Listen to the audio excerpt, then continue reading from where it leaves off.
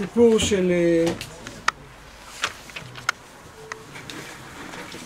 עבד אברהם, אליעזר שמשקה, שרצה משקה אותו בתגמולים, סיפור יפהפה של חסד, ובאמת אה, אה, זכינו פה לסיפור שהוא פנינה. אבל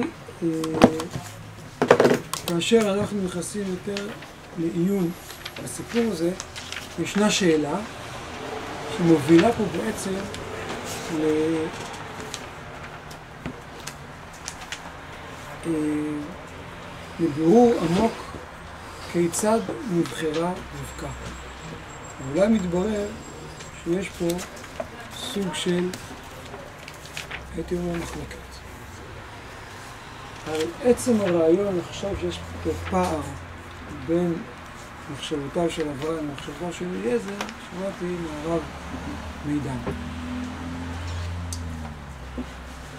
אה, מה בעצם ביקש אברהם מעבדו, שחז"ל אומרים שזה אליעזר, על פי העבר שקראנו אליעזר. אברהם אומר, והשביעך בהשם אלוהי השמיים ואלוהי הארץ, אשר לא תיקח אישה לבני, ולא תקנעני אשר אנוכי יושב בקרבו, כי לארצי ולמולדתי תלך, ולקחת אישה לבני ליצחק.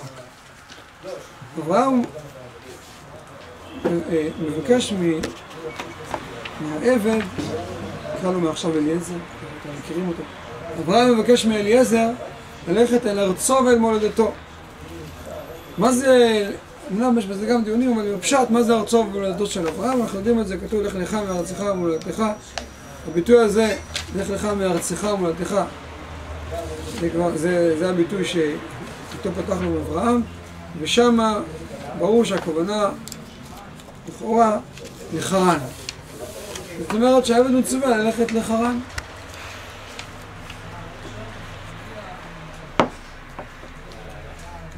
אה,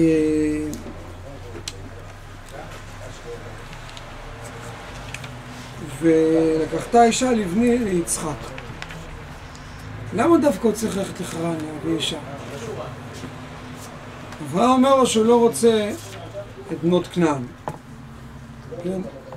לא תיקח אישה לבני בנות הכנעני. למה דווקא לחרן? יש עוד מקומות בעולם חוץ מכנען וחרן. אפשר ללכת למצרים, אפשר ללכת לעוד הרבה מקומות. כאשר העבד מספר, אליעזר מספר למשפחה על השליחות של אברהם. כלומר, בפסוק, אנחנו בפרק כ"ד, בפסוק אה, ל"ח, ל"ז ל"ח. כתוב וישביעני אדוני לאמור, לא תיקח אישה לבני אם לא הכנעני אשר לכם יושב בארצו. אם לא אל בית אבי תלך ואל משפחתי ולקחת אישה לבני. שמתם לב להבדל? שמתם לב להבדל? כשעבד אברהם מספר על השליחות, מה הוא מספר? שאברהם שלח אותו לאן? למשפחה של אברהם. הלוא אברהם בא מחרן, משפחתו בחרן. מי נמצא בחרן? נכון, אח של אברהם. ו... והוא מבקש, תיקח אישה לבני בנות הכנעני אשר נוכל יושב בקרבו. אה, תיקח אישה לבני ממשפחתי. אז מה אליעזר היה צריך לעשות? אליעזר היה צריך לקחת את הגמלים, להשתמש ב-GPS, להכניס לתוכו את הכתובת, רחוב, פרט, פינת, חידקל בחרן, להגיע לשם, שם זה הכתובת של נכון. או יותר נכון, הוא היה צריך, הוא היה צריך לשאול, כמו יעקב אבינו, עוד דור אחד. שיעקב אבינו יבוא וישאל, וישאל את, ה, את רועי הצאן, ישאל אותם. אה,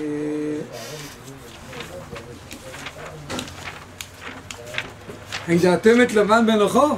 שואל יעקב את הרועים. ככה הייתי מצפה מאליעזר, שיבוא וישאל, הידעתם את נחור בן תרח, ושיראו לו אותו, ואז הוא ידפוק בדלת ויגיד שלום, אני עבד אברהם, ובאתי להציע לרבקה אה, שידוך עם בן דודה, יצחק. אה,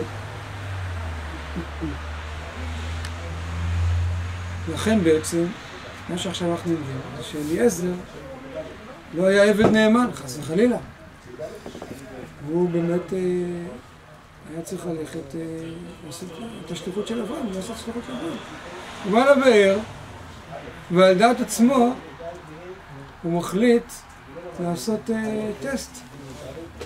אני אעמוד, אעצור טרמפים, ואם מישהי תיקח אותי טרמפ, אז סימן שהיא אישה טובה, והיא מתאימה ליצחק. סליחה?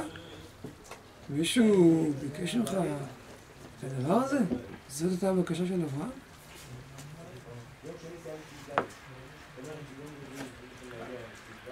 עכשיו, מה שאמרתי לכם עכשיו זה היה קצת אה, דמגוגיה. למה? כי באמת, אני הסתרתי ממכם את זה שיש אה, מחלוקת פרשנים. הרי יש פה, פעמיים כתוב, התוכן של השליחות כתוב פעמיים. פעם אחת אברהם אומר את השליחות, פעם שנייה העבד מספר על השליחות. פעם הראשונה כתוב אל ארצי ואל מולדתי תלך, לא כתוב אל משפחתי. פעם השנייה כתוב אל משפחתי. אז למה אחזתי בפעם השנייה כשהיא הפעם הנכונה? אולי הפעם הראשונה הפעם הנכונה ובעצם רק שלחו אותו לחרן, לא יודע עדיין למה לחרן, אבל לאו דווקא למצוא את רבקה הבת של נחור. כלומר מי אמר שבת, אז באמת, עכשיו אני פותח סוגריים, יש כאן מחלוקת פרשנים. יש פרשנים שאומרים שבאמת אליעזר נשלח לחרן. ואולי הם יסבירו כי חרן זה בכל זאת הגזע של אברהם, משהו כללי כזה, ובכל זאת זה לא כנען שהיו יותר מושחתים במידותיהם, לא יודע, דברים שכאלה. ובאמת אליעזר בא לחרן, וכל בנות חרן הם פוטנציאל. ועכשיו צריך לבחון אחת מבנות חרן. זאת, אה, זאת אפשרות אחת. ואז אליעזר הוא בסדר גמור, ואני סתם העללתי עליו עלילת שווא. אז למה אליעזר אחרי זה מספר סיפור של משפחתית אליך? אז המפרשים אומרים שכשהוא סיפר את השליחות, אז הוא, הוא אומר כל מיני דברים כדי, מה שנקרא, כדי להלהיב אותם, כדי שיסכימו לתת את רבקה. יש כמה דברים שהוא משנה, בעצם הוא רוצה לעשות להם כבוד. אברהם שלח אותי אליכם. הוא לא שלח אותי אליכם, ואני מספר לכם, שלח אותי אליכם, כדי שתרגישו חשובים. ככה אומרים אותם מפרשים. אני בוחר בפרשנים האחרים. זה מחלוקת בין הראשונים, שמפרשים את התורה. אני בוחר בפירוט השנייה, שזה הפוך. פעם הראשונה, לרצי ולמודתי, קיצרה. באמת, אברהם שלח אותו ספציפית ל... לא רק לבית, לנחור, אלא לרבקה. ולשם כך יש לי שלוש ראיות. ולא סתם ראיות, אלא הראיות האלה גם מתחילות להסביר לנו את מהות העניין. ראיה ראשונה, הסיפורים חוזרים על עצמם. הנה יש לנו כאן סיפור על אברהם ששולח את העבד להביא אישה ליצחק ואנחנו מתלבטים למה דווקא לחרן והאם דווקא זה אבל אפשר למצוא את הפתרון בסיפור בדור הבא. הרי בדור הבא מה קורה בסוף פרשת תולדות, פרשת אה, אה, חודש ישיבת הארגון, השם השני שלה, אז כתוב אה, שבאה רבקה ואומרת ממש אותו דבר. פרק כ"ח, לפני המפטיר. לפני כן. לא, אמרתי, זה השם של המפטיר, זה נקוד. אה. ויקרא יצחק אל יעקב ויברך אותו ואומר לו לא תיקח ישר בנות כנען בדיוק כמו שאברהם מצווה את העבד ככה מצווה יצחק את יעקב לא תיקח ישר בנות כנען קום לך פדנה ארם ביתה ותואל אבי אמך וקח לך משם משם מבנות לבן אחי אמך כשם שפה יש כתובת ברורה, אתה לוקח את הבנות של לבן, אחת מבנות לבן, בסוף לקח את שתיהן, אז ככה אנחנו צריכים להבין, גזירה שווה. מסתבר שגם, אני רואה שיש פה איזה משהו מהותי. מסתבר שגם זה מה שאברהם, יצחק ממשיך את אברהם, זה מה שגם אברהם אמר לעבדו. למה זה מחייב אבל? לא אמרתי שזה מחייב. כשאנחנו אומרים ראייה, זה לא עכשיו הוכחה מתמטית. אבל אתה מתחיל לראות כיוון. אתה רואה שאברהם, אחר כך יצחק, שולחים להביא נשים מבנות, מבנות נחור. אתה רואה שהנשים של עם ישראל באו מבנות נחור.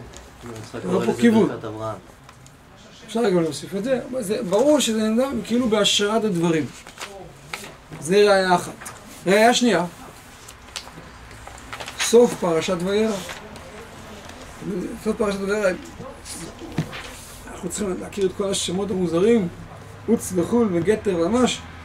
ויהי אחרי הדברים האלה במפטיר ויוגד לה, אחרי שיצחק נולד מחדש בעקדה, קיבל, קיבל יצחק את החיים מחדש על הר המוריה, אז הוא קיבל רק את חצי החיים שלו, מבלעדייך אני חצי בן אדם, כתוב. אז איפה החצי השני של יצחק? ויהי אחרי הדברים האלה, ויוגד לאברהם לאמור, הנה ילדה מלכה גם מבנים לנחור אחיך, את עוץ ואת בוז ואת כמואל ואת כסד ואת חזור ואת פלדש ואת עדה ואת בתואל ובצלול אלילה את רבקה. וכתוב, ויוגד לאברהם, שמועה הגיעה לאברהם, שנולדה רבקה. למה התורה כותבת את זה? אפשר להגיד שהתורה כותבת את זה כהקדמה, עוד מעט פרשת חיי שרה, אנחנו נלמד על, על, על, על, על רבקה, אז מספרים לנו על הייחוס של רבקה. אבל דומה שזה לא רק נאמר כדי לספר לנו מידע מי רבקה, כי עוד מעט בה, אלא כי כנראה אברהם, ויוגד לאברהם. אברהם שומע שנולדה רבקה. והוא כאילו מה שנקרא, נדלקה לו נורה. אחרי שהוא, אחרי שיצחק נולד מחדש בעקדה, הוא שומע שנולדה רבקה, ובעצם זה סוג של, סוג של בשורת ההמשכיות שלו. ויוגד הזה, זה לא ויוגד לאברהם. שלחו לו מייל, מה, מה עכשיו רוצים עכשיו להגיד לנו פה? ויוגד לאברהם זה בשורה. הנה יש רבקה. זאת אומרת, אברהם קלט פה משהו, שוב, זה לא ראייה, כן? אבל אתה מתחיל להבין שיש פה איזשהו כיוון כזה. ועכשיו הראייה העיקרית שהיא לא ראייה, אלא בעצם התבוננות. דבר הבא.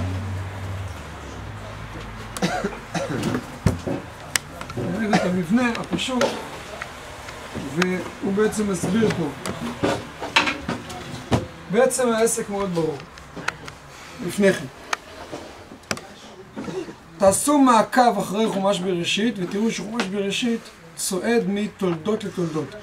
אלה תולדות השמיים והארץ בהיברעם, אלה תולדות נוח, אלה תולדות יצחק, תולדות ישמעאל, תולדות עשיו, אלה תולדות יעקב ויוסף. המושג תולדות בחומש בראשית זה מושג שפעם נעמיק בו, זה בעצם ההמשכיות של נשמת אדם הראשון. איך היא מתגלגלת. והנה למרבה הפלא, אין תולדות אברהם בשום מקום בחומש בראשית. אין אלה תולדות אברהם. למרות שכל כל פתיחה יש. אמרנו תולדות השמיים והארץ בהיברעם, תולדות נוח, תולדות אה, אה, אה, אה, יצחק ויעקב וישמעאל ועשיו, רק תולדותיו של אברהם, תולדות יצחק בן אברהם, אברהם הוליד את יצחק. היה תולדות יצחק. בסדר, אבל זה נקרא תולדות יצחק. מה עם תולדות אברהם? יש מישהו אחר שיש לו תולדות. פלא הפלאים. תרח. בסוף פרשת לך לך, אנחנו שומעים, בסוף פרשת נוח, בסוף פרשת נוח, אתם מבינים שאלה תולדות זה פתיחה חדשה, אתם יכולים לראות את זה בסוף פרשת אה, נוח, איך זה כתוב בצורה ברורה. ויחי תרח שבעים שנה, ויולד את אברהם ואת נחור ואת טרן. נגמר פה פרשת תולדות נוח. עכשיו מתחיל משהו חדש. ואלה תולדות תרח, פרק חדש בעולם. אלה תולדות תרח. תרח יוצא לפי זה, שיש איזשהו משהו גדול בתולדות תרח. אלה תולדות תרח, תרח הוליד את אברהם, הנה תרח, הוליד את אברהם, מה זה נקרא אברהם? את נחור, פה, ואת הר"ן. בואו נראה מה התולדות. הר"ן, אברהם הוא עקר. נכון, אנחנו לא יודעים כלום רק בהמשך. אבל על הר"ן, הר"ן היה זריז, כבר יש לו ילדים. מה אנחנו יודעים על הר"ן מי הילדים שלו? הוליד את לוט. יש לו שלושה ילדים. יש לו את לוט, את שרה, מילכה. ו- ואת מילכה. מה קרה להרן? הרן מת. והזכרנו, לא זוכר באיזה שיעור, הרן הוא האדם הראשון בעולם שנהרג על קידוש השם. אבל הרן הוא קליפת נוגה קראנו לו. זאת אומרת, הוא הלך אחרי אברהם, אחרי שהוא ראה שאברהם ניצול מכבשן האש. אז הוא אמר, גם אני אחריך. אברהם ירד לדעת להישרף, אז הוא ניצול. הרן ירד לדעת להינצל. לא להינצל, אז הוא נשרף, אבל, אבל לא לזלזל בהרן. זה לא שהרן, זה תולדות תרח, זה דבר גדול. זאת אומרת שהרן יש בו משהו מאוד גדול. כי, כי הוא, בכל זאת הלך אחרי אברהם. ועכשיו מתחיל פה תהליך שאברהם הולך לקבץ את נשמת תרח. בהתחלה הוא לוקח את לוט לאימוץ. בסופו של דבר יוצא עם פה רות. בסופו של דבר דוד המלך. אברהם מתחתן עם שרה, נחור מתחתן עם מילכה. אה, אם נחור מתחתן עם מילכה, ונולד להם בתואל, אז אחר כך נולדו פה שני ילדים, לבן ורבקה, וללבן נולדו שתי בנות, רחל ולאה.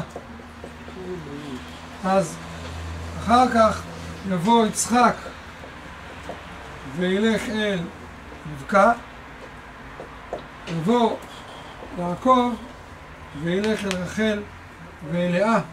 ובעצם יעקב יגמור את, מה? את ליקוט הניצוצות הקדושים שקיימים בנשמת ארן ונחור בעצם מתרח, ולכן יעקב אבינו, ממנו התחיל עם ישראל. זאת אומרת ש, שכבר לא, לא כמו פה, שליצחק יש את עשיו ולאברהם יש את ישמעאל. כי עדיין לא נלקטו כל ניצוצות הקדושה מנשמתו של תרח, שכתוב ערך לדות תרח, זו פתיחה חדשה לזה. ולכן, עכשיו, מה שאמרנו. מה? אבל זה לא בגלל שזה חדש? לא, אז אני, מה שאני בעצם מסביר, שלא אברהם פותח משהו אלא תרח. אברהם הוא עכשיו מלקט. יצחק כן פותח משהו. אני לא יכול להסביר לך למה אני כותב רק את יעקב כאילו משהו חדש. שאלה טובה. מה שעכשיו בעצם אנחנו, אה, זה, בגלל שאני מאוד מקצר, אז צריכים להעריך בזה כמובן. מה משמעות ה... זה נקרא ייבום. כן, יש פה אח שנהרג, וכל האחים, האחים מייבאים אותו, ואחר כך אברהם מלקט כאילו את הניצוצות. תבינו, אין עם ישראל. אברהם כאילו מלקט את הניצוצות של, של, של בית אביו, ומחבר אותם אל בית ישראל. יש עוד מה להעמיק פה, בהמשך קצת נעמיק בזה. נכון. מה? לא.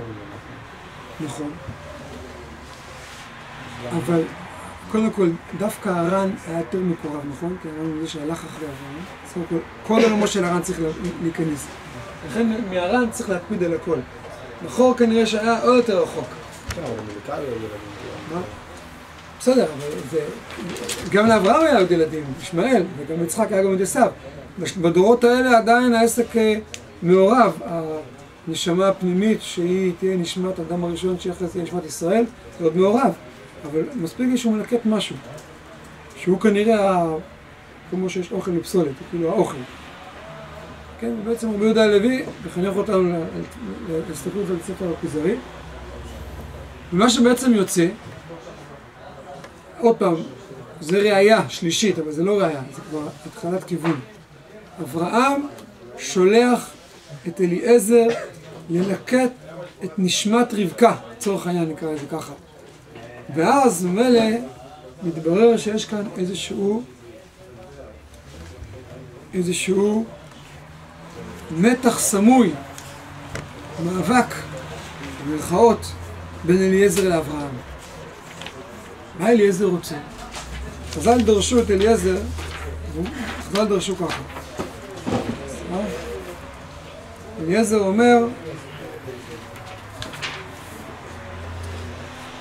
אה, בדיוק. ויאמר אליו הירד, אולי לא תובע האישה ללכת אחריי אל הארץ הזאת. אתם יודעים שהמילה אולי יש לה שתי פירושים. שני פירושים. אולי זה אולי.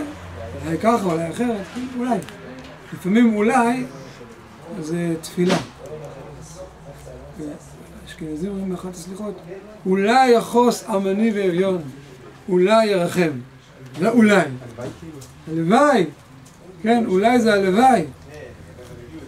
לכן חז"ל דרשו, אולי לא תובע אישה אליי. כלומר, למה, מה רע בביתי? ובטוח שהבת של אליעזר הייתה חבל. חבל על הזמן. כן? מה זה אליעזר? זאת אומרת שהוא לא מבין את השליחות. מה רע בי? למה ללכת? ולכן הוא ממשיך כאילו, לצורך העניין, את חוסר ההבנה שלו. וגם כשהוא מגיע לחרן, הוא... לא יאומן. הוא לא נאמן לשליחות, והוא מסתכל. הוא כאילו אומר, אני יודע מה יהיה טוב ליצחק. אני יודע מי זה יצחק, ואני יודע גם מה התפקיד של עם ישראל. עם ישראל תכליתו זה להיטיב. חסד, הרצון להיטיב, בלי גבול הבריאה, זה התכונה הכי יסודית של עם ישראל, זה מה שאני צריך לחפש. כאילו, אליעזר הוא תלמיד חכם, כן? לא סתם. ולכן הוא הולך ומבקש, הוא עושה מבחן. המבחן הוא מבחן מקסים. רגע, למי עושה... הרב מדבר על המבחן בבאר או על המבחן של המשפחה? שמשפחה לא בוחן בכלל, הוא בוחן המבחן בבאר. עכשיו, אנחנו עכשיו פתאום באים למבחן בבאר בביקורת אליעזר. כל המבחן הזה הוא בעצם מיותר. תכף נבין, הוא לא מיותר. אבל לכאורה המבחן הזה הוא מיותר. אה, רק ככה, אז בואו נבין שנייה אחת איזה פסוק. לא, לפני כן. מה בעצם המבחן? אז זה ככה להסביר לכם את המציאות של המבחן הזה. כבר מפרשים, רבים מדייקים, כמה מדויקים שמאוד יפים פה. תראו, לבקש ממישהו לשתות ולקבל ממנו כוס מים זה לא איש חסד. אם מישהו תבקש ממנו לשתות, ודרך אגב, אנשים מאוד אוהבים לעזור. דרך אגב, אם אתה מבקש מישהו עזר ברחוב, באמת רק אנשים ממש... אה, אני רוצה שיש ביטוי חריף, מאוד לא... הם לא יעזרו לך. אם אתה מבקש, אם אתה בא, למישהו, אני צריך עזרה. אני אומר לכם, כולם מה זה עזרה? אבל יש לעזרה גבולות, כן? גם, לא תמיד אנשים יכולים לחוש שמישהו צריך פה עזרה. המיוחד באיש חסד, אמיתי, זה שיש לו רדאר, לזהות מי פה בעצם במצוקה. ויש לו רדאר, והוא מוכן להתמסר לזה עד כלות. זה כבר הופך את האדם למשהו יותר מזה. ופה קורים, קורים הדברים האלה. קודם כל צריך להבין, לכאורה, מה פתאום שנערה, ברשותכם, תנו לי להאמין שרבקה היא לא בת שלוש, בסדר? זה מדרש חז"ל שיש לו משמעות מאוד עמוקה, אבל חז"ל לא טענו שזה הפשט, זה מפורש שחלק מהמפרשים אומרים שהייתה נערה רגילה בוגרת. כלומר, אני לא אומר שלא חווינו את זה כפשט, אני במו עיניי ראיתי איזה בדואית פעם אחת שהגעתי בנגדים, אה, מעבר לגדר ראיתי בדואית שהייתה נראית לי, לא הגיעה לשנתה העשירית והיא רועה צאן, מצוקים שם. שאני מסתכל, הילדים שלי בני עשר, אני חושב שהם חוצים, בקושי חוצים את הכביש. אבל בסדר. טוב, אני זה- דווקא הבנים של הרב, אה, נראה לי יכולים להסתדר יום. מה? הנכדים שלי מספרים לי באתיופיה מה... כן. לפני גיל עשר. אז לכן כאילו אני לא בטוח ששלוש שעה זה כמו שלוש של ימינו, בסדר, אבל מי, ש, מי שמפריע לו לראות פה ילדה בת שלוש, יכול לראות פה נערה אה, רגילה. זה לא כפירה, זה הכול. עכשיו, אה, אה, מדוע הוא לא, מה פתאום ש, ש, ש, שהוא לא ישאב בעצמו? צריך להבין שבשעה הזאת, בשעה של הנערות, במתחם של הבאר, אין לגבר מה לעשות שם. זאת אומרת, זה לא, זה, זה המציאות, הוא לא יכול להיכנס שם בשעה הזאת. אה, גם אנחנו יודעים שבתור אדם זר, לא כזה פשוט לשאוב מהבאר של היישוב חרן, הבאר המקומית, כמו שאנחנו לומדים בסיפור על הבאר הסתומה אצל יעקב. ו... והיה רוצה עבד לקראתה, ויאמר גמין נא מעט מים מקדיך. הוא כולה מבקש ממנה מעט מים, זה הכל. ולכן אם הייתה שעה נורמלית, הייתה נותנת לו מים. ואם הייתה נותנת לו מים, אז הייתה צריכה להיות באמת הכי רעה בעולם. ואז היא אומרת לו, תאמר שתי אדוני. הוא אמור להתאכזב, זה הכל. ותמהר ותורד כדה על ידה ותשקיעו. אז היא כבר התקדמה, לא שתה, גם השקה אותו. ותוכל להשקותו. ועכשיו, רק אחרי שהיא גמרה להשקות אותו, אז תומר אמרה, תומר גם לגמליך ישאב עד מכאילו לשתות. איך ידע שיש לו גמלים? הוא לא ביקש ממנה בכלל שום דבר על הגמלים, הוא לא אמר לה כלום על הגמלים. היא לא רואה? מה? היא לא רואה אותם שם איתו? לא כל אחד היה רואה, זה מה שהתכוונתי לומר. זאת אומרת, בא איש, הדור, ומבקש ממנה מעט מים. אחד היה אומר, טוב, שתה. אה, משל למה הדבר דומה? מישהו עוצר בכביש ומבקש מים. האוטו שלו תקוע, מבקש מים. אז אחד אומר, אתה רוצה מים? הוא עוצר שנייה, זה שהוא עוצר זה יפה. והוא נותן לי בקבוק, והולך לו. רק רגע, רק שנייה אחת. נחמד, אתה אתה אדם טוב, אני תלונות עליך. אבל אה, יש כאן מישהו, אולי הוא לא יודע איך לטפל ברכב שלו? הייתי מצפה, לאדם קצת יותר טוב, ששנייה אחת אה, יעמוד, נגיד לו מה הבעיה, כן? וינסה כזה, לעזור לו, וכולי. אבל המפרשים מדייקים שהיא בכוונה לא אמרה לו, היא שמה לב, היא בכוונה לא אמרה לו, שתה וגם גמליך. כי היא לא רצתה שהוא ישתה עם תחושות שוואי, היא רוצה גם לשתות את הגמל, אז אני אשתה קצת, לא להלחיץ אותה. לא שתה. נתנה לו לשתות חופשי, כי הרי מה, רק, משקה רק אותי, לא כזאת טובה. רק אחרי שהוא גמר לשתות בכיף, אז היא אמרה, וגם עם גמליך אשקה. היא כאילו אמרה, מאיפה הוא לא נחת מהירח? מי זה? מה זה? יש לו פה גמלים. ואז קורה הדבר העיקרי, ותמהר, ותער כדה אל השוקת, ותרוץ עוד אל הבאר שור, ותשאל בכל גמליו. רבותיי, לא צריך להגיד את זה, זה למדתי כבר בגן. עשרה גמלים שהלכו במדבר והגיעו לבאר. הגמל, כידוע, הוא שותה עם הפסקות גדולות. יכול כמה ימים ללכת לדבשת, הדבשת זה שומן שעוזר לו לשמור על עצמו כמה ללכת הרבה זמן בלי שום טיפת מים. הגמל שותה המון, המון, המון. לא גמל אחד אלא עשרה גמלים. משל רבקה למה הדבר דובר ונמשיך את, את, ה- את הזה. הוא ביקש מישהו יעצור לו טרמפ. אם אני עוצר טרמפ למישהו, זאת אומרת, אם אני מבקש טרמפ, אני עומד ב... נגיד אני עומד ב... אני עומד ב... ביציאה מאשדוד, אני רוצה לנסוע לירושלים. רוצה לי יהודי טרמפ, הוא נוסע לתל אביב. אז אה, הוא עוצר ליד המחלף, ואז הוא אומר לי שלום. הוא אדם טוב. אז אני אומר אין בעיה, אקח אותך לירושלים, משם אני אסע לתל אביב. אז הוא כנראה, חבל על הזמן, וזה מה שהיא עושה. זה לא לוקח שתי דקות לשאוב, זה לוקח, זה מאמץ, וזה לוקח המון, המון, המון, המון זמן. עשרה גמלים.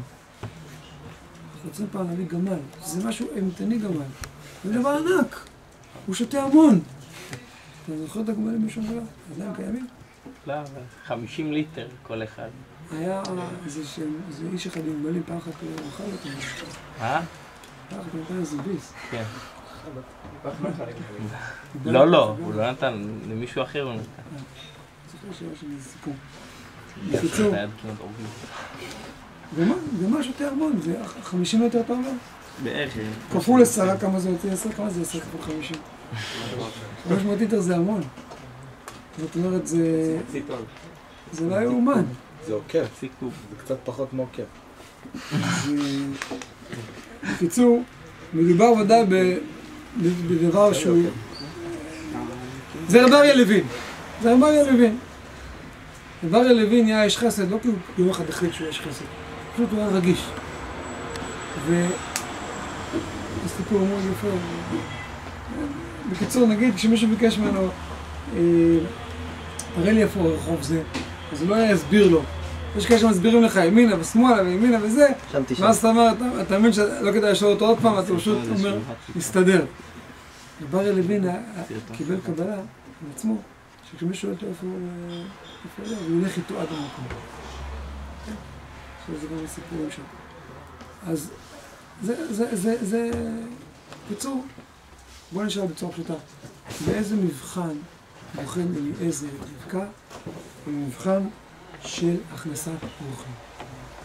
אליעזר הוא מבית אברהם. הוא בעצם יודע שהמצווה של בית אברהם זה הכנסת אורחים. הוא בוחן את רבקה, האם היא שייכת למצווה של בית אברהם להכנסת אורחים. אם כן, מהי המחלוקת? אה, עכשיו תראו את מה שקורה בסוף. עכשיו, אחרי שהוא רואה והוא מתפלל להשם. והרי חז"ל אומרים שלושה שאלו שלא כהוגן ואחד מהם זה אליעזר, ומי יודע אם לא, זה מה שמונח ביום קבלתם של חז"ל, מה אתה בכלל שואל? אבל אה, כתוב ש... והאיש משתאה לה, מחריש לדעת היצליח השם דרכו אם לא. מה, מה פירוש והאיש משתאה לה, מחריש לדעת היצליח השם דרכו אם לא? מה זה הצליח?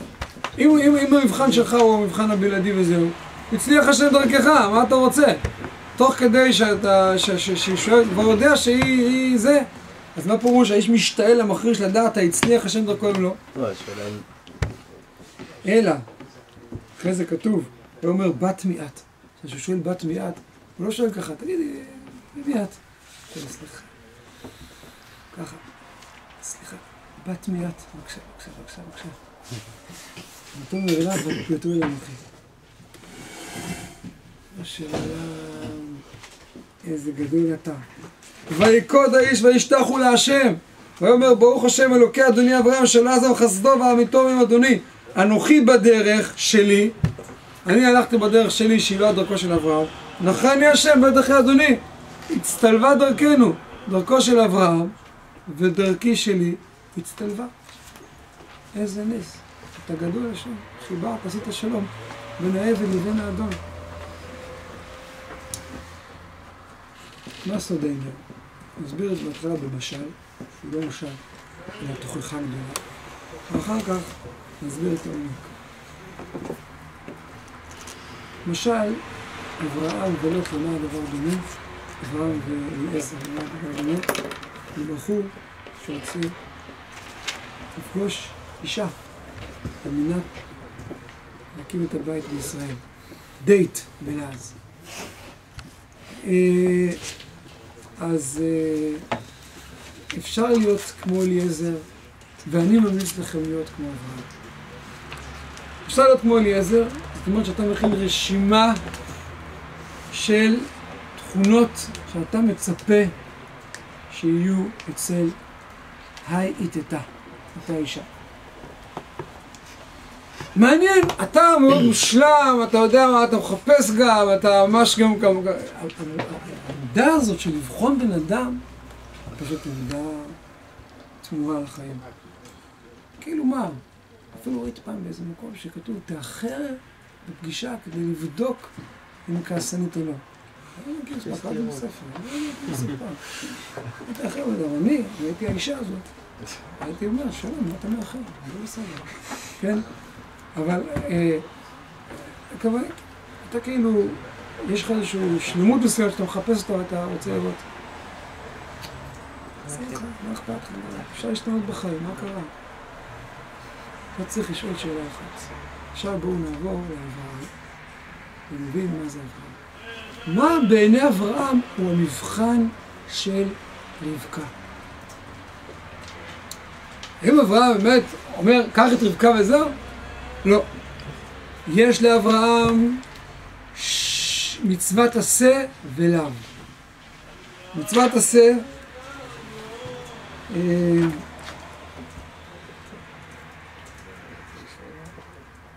אברהם אומר, לך אל משפחתי.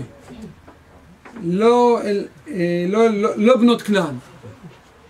אוקיי.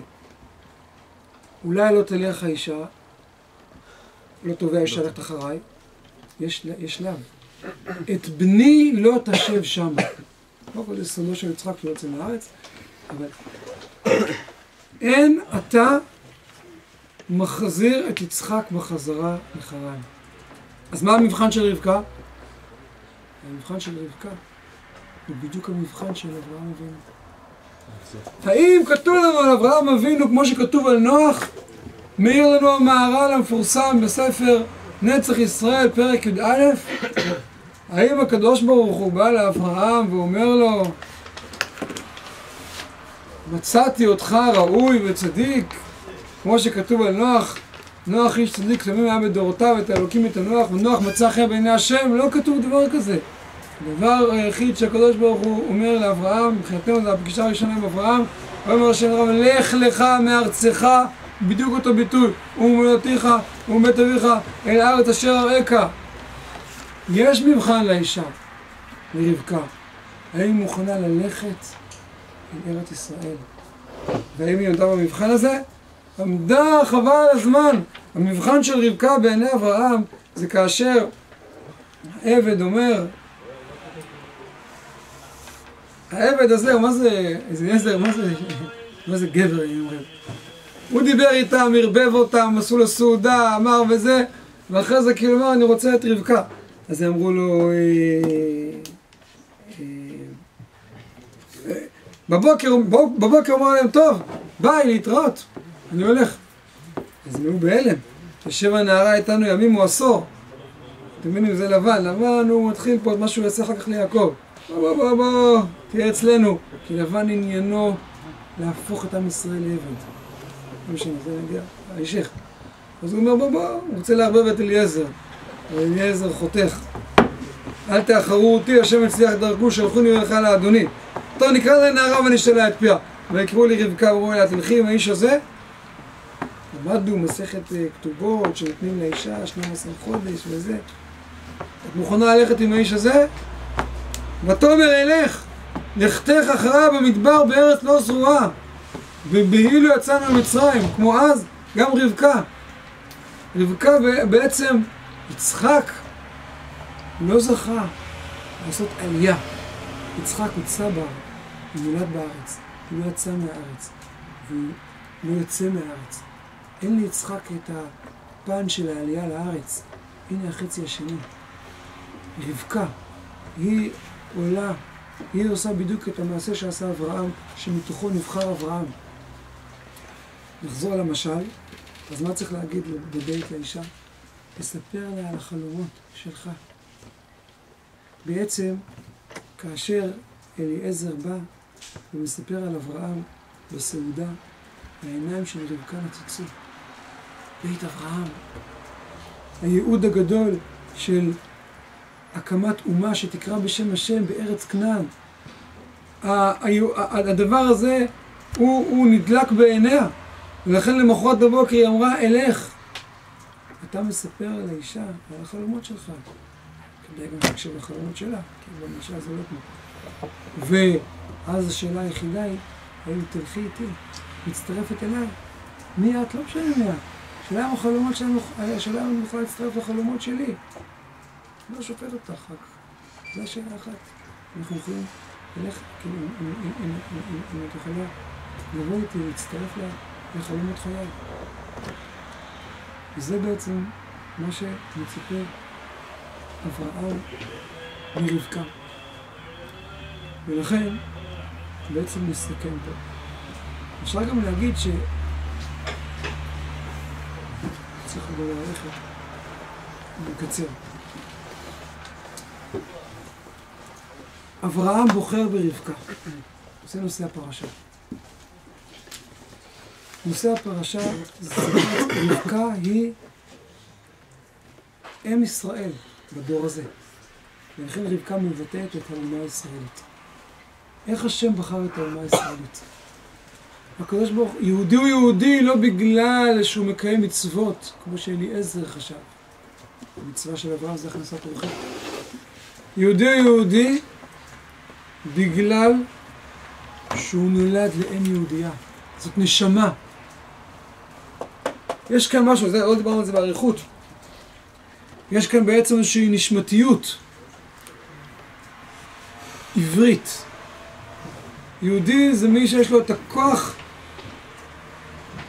הנשמתי, שכשהוא מתגלה, המצוות לא מייצרות אותנו, המצוות חושפות את הטבע הנשמתי שלנו. כי ידעתיו, למען אשר יצווה את בניו ובתוך אחיו ישמרו דרך השם. פירוש הפסוק, כי בחרתיו, ידעתיו שווה בחרתיו. למה בחרתיו? לא בגלל, אלא למען יצווה את בניו וביתו. כדי שיקים עם, שילך בדרך השם. זאת אומרת, יש לו את המסוגלות לזה, זה נמצא בו. לא שפיטה, אלא הכרה שזה קיים בו, אבל יש, יש, אתה יכול לעזוב את עם ישראל. יהודי יכול להיות שיש לו נשמה, אבל הוא עזב את עם ישראל. לכן מה הדבר השני שנדרש מרבקה? בחרתי את רבקה, כי יש לה נשמה עברייה, נשמה של כנסת ישראל. אבל מה עכשיו נדרש מרבקה? להצטרף למסע הישראלי. ללכת במסע לארץ ישראל. כי המסע לארץ ישראל חושף את הכוחות הנשמתיים של רבקה. עכשיו, אז לכאורה שמנו פה את אליעזר כ... אז מה, כל הסיפור הכי יפה של התנ"ך, הסיפור המתוק הזה, הסיפור הפסטורלי הזה, על אישה כזאת טובה, זה בעצם מיותר? לא. אליעזר הוא הדמות האידיאלית של כנען, של העבד. שימו לב שאליעזר קורא לעצמו עבד אברהם ורוחל, הוא מתגאה בזה, והוא רואה בזה את הדבר הכי של כבוד. נדמה לי, נדמה לי, אני לא בטוח, צריך לבדוק את זה, שהארי אומר שתבי, עבדו של רבן גמליאל הוא גלגולו של אליעזר, עבד אברהם. זה העבד האידיאלי. מה זה העבד האידיאלי? העבד הזה מבטא את אומות העולם. התפקיד של אומות העולם זה להיות עבד לעם ישראל. לא במובן השלילי של, שאנחנו מפרשים עבד, אלא תזכרו דבר מאוד מעניין. עבד כנעני הוא מסתנף, הוא מתחבר לעם ישראל. ואנחנו יודעים שעבד כנעני אוכל תרומה בבית הכהן. אני כישראלי לא יכול לאכול תרומה. חבל. לא זוכה לאכול את הטעמה הטוב של התרומה. אבל אם הייתי עבד כנעני, והייתי עבד כנעני בביתו של איתי כהן, אז הייתי זוכה לאכול, אה, לאכול, אה, תרומה. לאכול תרומה. תחשבו מה זה. זה משהו עצום. אליעזר אומר, אנחנו הגויים לא מבינים בנשמה, בפנימיות. אנחנו רוצים את הגילוי של הנשמה. שימו לב טוב. רבקה שומרת על הבאר. הבאר, לפי הקבלה, באר רומז לאישה. הבאר הזאת, ולכן כל האבות מצאו את זיווגם על הבאר, ומשה וכו'. הבאר הזאת, מים תחתונים שמבטאים את, את הנקבה, את ספירת המלכות, את כנסת ישראל. הבאר הזאת היא, היא רבקה. ואברהם יודע שלבאר הזאת יש מים זכים וטהורים. נשמת ישראל היא זכה וטהורה, הוא לא צריך את המבחנים. אבל אליעזר, בתור בן אומות העולם האידיאלי, אומר, אנחנו רוצים לחשוף את המים הזכים שנמצאים בבאר. והוא מביא עשרה גמלים. גמל, עם כל העוצמה החומרית שלו, עשרה גמלים מבטאים את עשר הספירות של עולם העשייה. כלומר, את הכוחות של העולם הזה. ואני כנעני, אני עומד מעל גבי הכוחות של העולם הזה, ואנחנו צמאים, יש כמיהה של הבריאה אל גילויה של נשמת ישראל. תינה קדך, שתה וגם גמליך אשקה. זה, זה בעצם אליעזר הוא עוזר, כן, לנשמת ישראל, שהיא, שרבקה היא עכשיו מבטאת ישראל, לחשוף ולהוציא ולכוח אל הפועל את, את, את, את, את נשמת ישראל. בעצם מה שהתברר בפרשה שלנו, זה מה שנקרא בלשון הפנימית, ונצדק קודש. כאילו אליעזר אומר לקדוש ברוך הוא, ריבונו של עולם, בחירה שלך, אני מודה. אין על היהודים. זאת אומרת, אברהם אמר, ישראל, בלי טעם. ישראל שדבקים בארץ ישראל, שדבקים במגמה, הזאת, זהו. אבל אליעזר רוצה, כאילו הוא אומר, אני רוצה לבחון. והוא אומר, הצלחת אותי, אברהם. אכן, נשמת ישראל היא נשמה של רבקה שהיא גומלת חסדים. אני רוצה